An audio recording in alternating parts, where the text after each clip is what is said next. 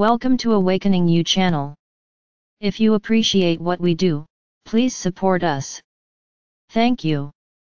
I will explain both fourth dimension and density a little more to you. There are some things I do not try and explain due to the extreme language barrier in the world of the physical and the world of the spiritual. You see some things have no words in our world, it is just feeling that we communicate with, and feeling can go beyond any word in your world.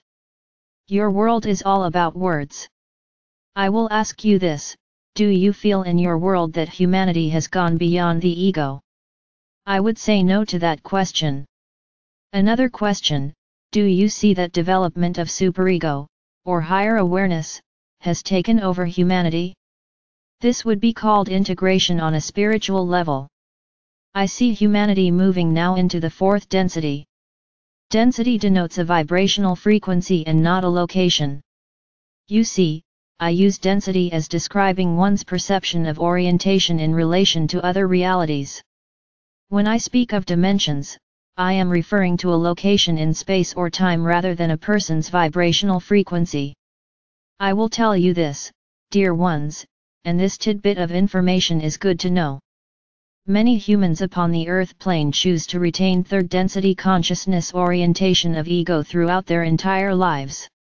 The development of higher consciousness is the fourth density trait. And the humans have the option to develop this aspect of themselves. You see, the earth is in the fourth dimension now. So, on your earth right now fourth density reality is overlapping third.